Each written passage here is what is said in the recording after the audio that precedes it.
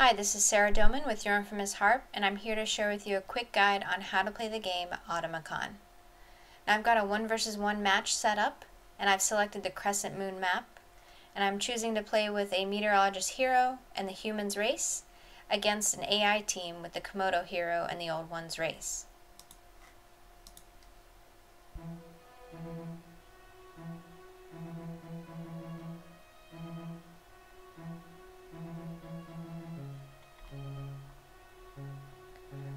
So the first thing I'm going to do is select my hero, and I'm going to have her build my generator.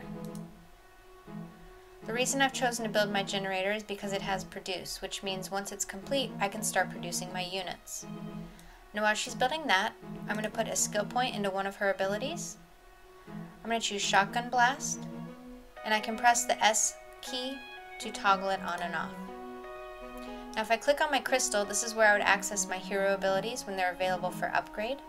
I can also heal my hero underneath the crystal, and if my hero dies, it'll respawn near the crystal. My crystal is essentially my base, and I'm going to want to protect it. The object of the game is to knock down your enemy's crystal.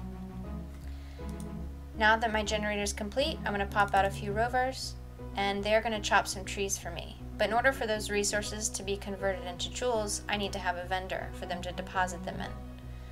I'm going to build the silo because it has vendor.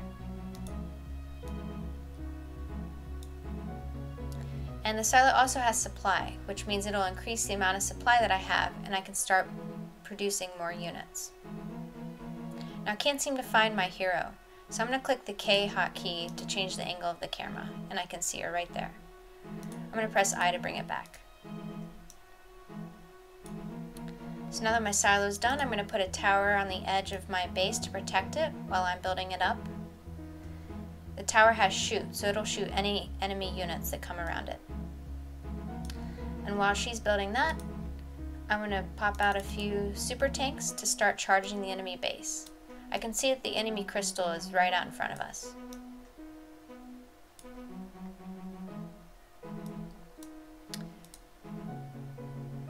And I'm going to follow these tanks with my hero. Once the tower is done, I'm just going to right click on the terrain to move my hero.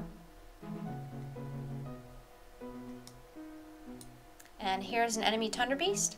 I'm going to right click on the enemy unit to target it, and I'm going to press the S hotkey to enable my shotgun blast.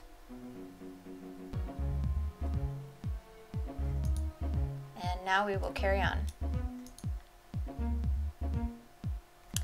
Got another skill point. I'm going to put it in a shotgun blast to make it more powerful.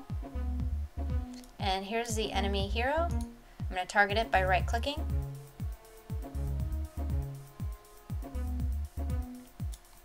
And we're going to knock these towers down.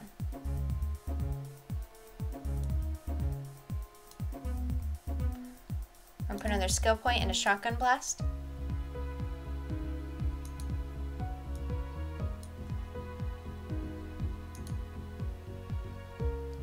And we found the enemy crystal.